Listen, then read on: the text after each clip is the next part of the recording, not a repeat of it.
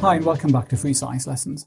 By the end of this video, you should be able to describe the action of adrenaline in cell signaling. This includes activation of adenylyl cyclase and the role of cyclic AMP as a second messenger. In the last video, we looked at the fight or flight response.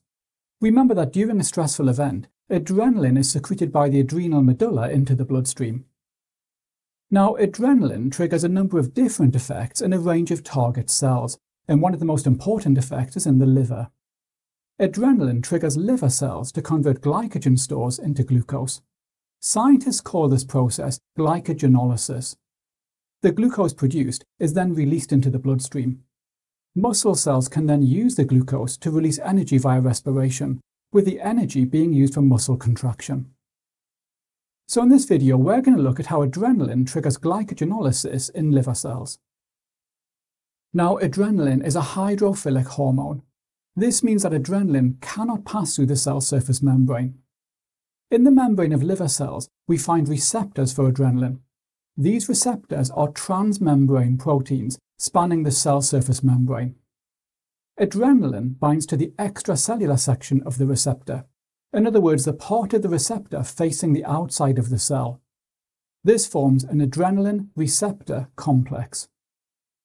The binding of adrenaline causes the tertiary structure of the receptor protein to change on the cytoplasmic side of the receptor. This shape change now activates an enzyme called adenylyl cyclase. And I should point out that adenylyl cyclase is also called adenyl cyclase. The active form of adenylyl cyclase now converts ATP to a molecule called cyclic adenosine monophosphate. This is also called cyclic AMP or CAMP. Scientists call molecules like cyclic AMP a second messenger. So in this system, the adrenaline is the first messenger and the cyclic AMP is the second messenger. Now, a key idea you need to understand is that one molecule of adenylyl cyclase can produce a large number of cyclic AMP molecules. So, a relatively small number of adrenaline molecules can lead to a large amount of second messenger. Scientists call this a cascade effect. Okay, so we've now formed the second messenger, cyclic AMP, in the cell cytoplasm.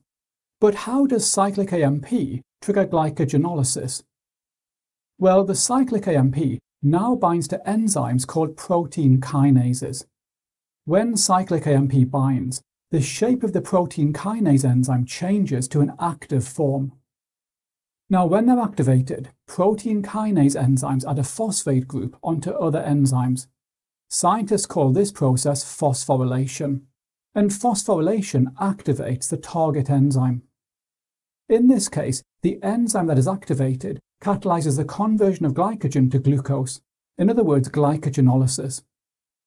The glucose then moves out of the liver cell and into the bloodstream, this takes place through membrane channel proteins via facilitated diffusion.